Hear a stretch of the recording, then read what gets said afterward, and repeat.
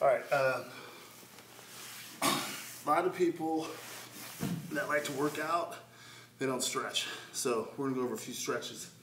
That's real important to MMA and just about anything else you do.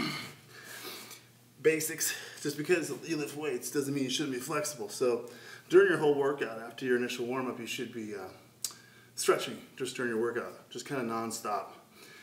Uh, stretching between your sets if you're gonna take a rest. Obviously, if you're doing any kind of kicks, you, you definitely wanna stretch out your, your hamstrings. Uh, a lot of twisting, that's where a lot of people get hurt in MMA. So make sure you're doing a lot of twisting. And then also incorporate like your exercises from these positions. I like to come up here. I'll do push-ups from here because you're kind of in an awkward situation.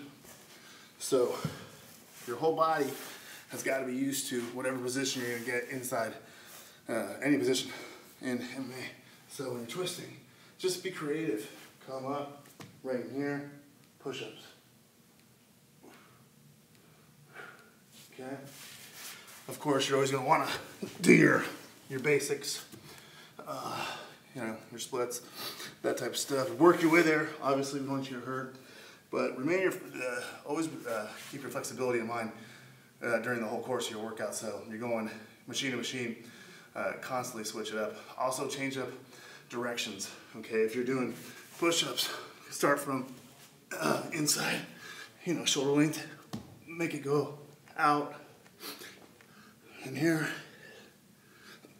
like that, head up, good posture, and then come through in positions that you're gonna do. Like sitting out is real important. Sitting out, covering yourself. So always incorporate your workout with the type of uh, uh, with the type of stretching that you're gonna do from every kind of angle um, on this. Um, again, a lot of people use balls. A lot of people use balls, that's kind of funny, a little bit. I like to bring dumbbells inside with these. And just change it up. You're in here. This is a little light, obviously, but you can work your chest. In here. Come down here. It's a natural place to work bis.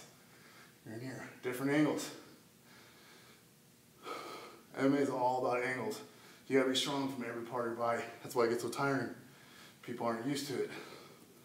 Bodybuilders last about 20 seconds in an MMA fight, which is like used to be my favorite people to beat up. No offense, but uh, that's the way it goes. So just be creative on the ball. Every angle you can go at. In here. Work those tris. Every angle. I mean, how many times are we slouched down and having to push away? But you never do this. Creative. Angles. That's what you guys want to do.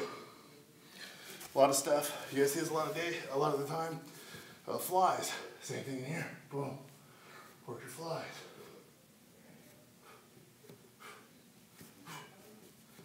And the uh, elbows I showed you earlier, can set them down, back up a little bit on here, and work.